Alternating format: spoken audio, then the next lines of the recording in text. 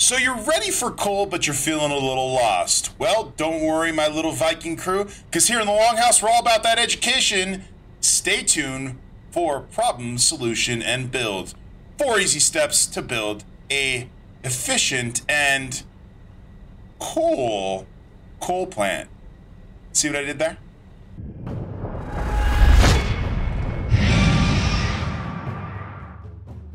Welcome to the Longhouse. I'm Runestone Gaming, and for this episode, we're talking about coal generators. And in order to understand the problem, solution, and build today, we need to understand a little bit about how coal plants work. Each coal plant takes 45 water per minute to run, which will require a pipe. Additionally, each coal plant will take 15 coal per minute per plant, which will require a belt. Finally, 100% efficiency on each coal plant will deliver 75 megawatts. Let's begin by talking about the problem. Well, with coal generators, I often see confusion around what's the best way to set this up. Now, I've got some people who think that the best way to set this up is to maximize the coal. I've got some people who think the best way to set this up is to maximize the water. So, in our case, because of episode one, how we're using five extractors, two pipes, I think that the problem for us might lie in how many coal generators would I line up in a row to match that 300 pipe? Well, I have the solution for you here. So for the solution that we've come up here at the Longhouse, uses the same system that we've developed in episode one. We're running five extractors, two pipes, resulting in 300 per pipe. With 300 water in each pipe, and each coal generator taking 45 water per coal generator, it results in approximately 6.66 coal generators. So we will create seven coal generators and tune the seventh coal generator down to 66%. Seven coal plants with the seventh coal plant running at approximately 66% takes up just about 100 coal. So by running two lines of 120 coal side by side, feeding both series of the plants, you will have successfully delivered the coal. Now, one caveat to this whole process is to remember that there's many solutions to the problem.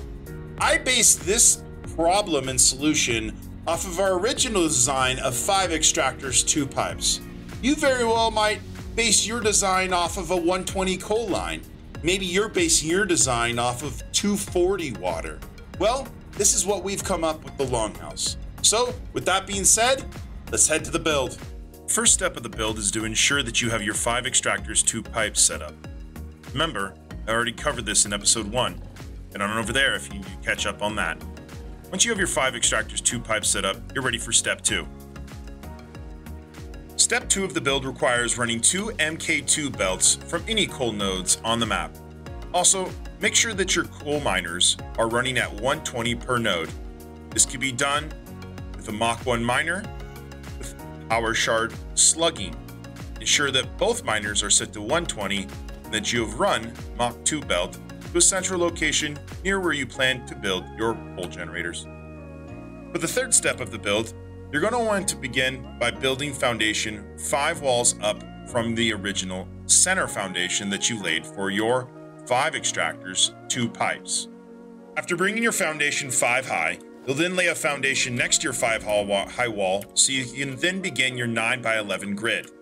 The grid on top of the water extractors needs to be 9 by 11 to fit all 14 coal generators and their appropriate logistics, piping, and conveyor belts. After laying your foundation down, you're ready to begin the logistics. We can begin by laying the coal generators. Now be careful as you lay the coal generators. You begin by placing the first coal generator next to the line, not on the line as you can see, but one back. One more thing to note is that this coal generator is in between two tiles. Now, traditionally people just lay their coal generators back to back to back, but I find that a little bit too chaotic. It doesn't necessarily match belt walls. So we will place the generator here, one little tick back in the middle of the tile. The next generator will be placed on the tile same distance from the middle. You continue this pattern until you reach seven coal generators. After you laid the coal gens, you're ready to lay the splitters. Splitters will be placed down this middle lane. Remember, we'll be running two lines of coal down this center. To begin, you'll grab the splitter. You'll make sure that the entrances and exits are lined up with the coal generator and the source of where you're going to get the coal from. We're going to pull coal from this side, so I'm going to make sure the arrow is taking in from that side. We'll place a splitter here, place one more splitter, and one more splitter. It will be three splitters high. We'll delete the first two, and we're on to the next. Now for this splitter, it's going to be in the next coal gen. We'll lay a splitter, a splitter, a splitter. Now for these, the direction doesn't matter. Top one, it does. We'll delete the bottom three. You're going to repeat this pattern all the way down, ensuring that your entrances and exits are all lined up. After you lay the splitters, you're ready to lay the belts.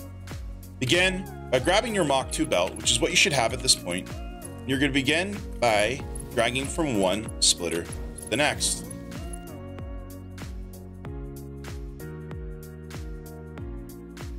After you have belted between your splitters, you're now ready for the conveyor lifts conveyor lifts work as so. You'll grab the lift. It is a Mach 1 lift for this part because the coal gens, remember, are only taking 15 coal per minute, so a Mach 1 lift here is perfectly okay. You won't lift from the splitter yourself, but you will lift from the machine. By placing it onto the machine and turning it, you should hear a click. You'll place that first one. Then you'll place the next. And you'll continue down the row, ensuring that you're hearing the click each and every time. So you've placed your lifts and you've placed your splitters. Now it's time to bring the coal up. Begin by dragging a conveyor pole all the way over to the here. This will be the edge. On this edge, this top line will be brought over. Halfway down the tile, we'll do the middle two conveyor poles. So we've got three lined up on the edge and two in the middle of the tile. Grab your Mach 2 belt, make sure you stretch it from here all the way over, and from here all the way over. You're going to then delete this foundation and then we'll grab that Mach 2 belt, connect it to the edge and bring it on down. Connect it to the edge and bring it on down. You'll grab the other Mach 2 belts and you'll connect them. How you connect these is up to you. There's plenty of creative ways and things that we could do to make these connections look nice. But that'll do for now. You're bringing both of your 120 Mach 2 belts into the appropriate entrances. You can then delete the conveyor poles as those were only supports to help us out to get the elevators staggered properly. The belts are ran and you're ready to run your pipes. Begin by killing the elbow junction that we've made before in the 5 extractor 2 pipe video. You're going to want to line up a pipe support next to either the cross or another pipe support side by side. You'll match this all floor with the top floor. These two pipe supports need to be moved. They're not on the edge. We're to want these pipe supports on the edge because we're to make create a vertical pipe look nice and neat with some pumps. Go ahead and lay those supports and then lay a vertical pipe. Remember, you can change your pipe height by pressing R. Obviously, we have distance here and we need to pump the water up. If we place pipes on the indicator, that will give us more than enough pipe pump distance. Make sure your pumps are lined up and place them on the indicator. After reaching up top, you're ready to lay your pipe across. Distance between pipes is six tiles. Lay your pipes all the way across as so. You've laid your baseline pipe, put your pumps, conveyor belts are running. Now, ready for the final step here. That is putting the crosses on, on the baseline pipes and connecting those. Super simple process. Lay the cross, lay the pipe. You'll continue this down. Well, you've done it. You've laid your cross sections, you've laid your belts, you've laid your pipes, you've laid your pumps. Did your 5 extractor 2 pipes, and you did your 9 by 11 foundation. You've laid your coal gens, making sure that they are split between two tiles and the next one on the tile. You could power it however you want. I'll let you guys decide on how to power it, and in an upcoming video, I'll go over how to power buildings. However, this will all have to do for now. Here's an aerial of what it should look like from above. This is what it look, should look like from the side. Now feel free to fancy this building up all you want. Add foundations, add walls, do whatever you want. I've given you enough room that you can do both and get creative. And remember, I want to see what you guys come up with. So take a photo of what you're working on in your world and put it up on the Discord or put a link here in the YouTube. I want to hear from you guys. I hope you guys all enjoyed the free cold tips. No need to send me in game gold, no need to send me an in game message. I do this all for you because I love to educate. Speaking of education, I stream on Twitch from 8 to 4 p.m. MST Tuesday through Friday. I hope to maybe see you there where we talk about this build and many of our other builds.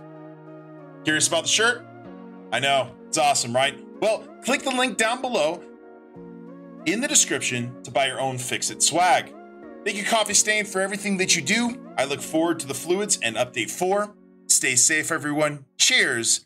I'll see you all next time for episode 3 in the Longhouse.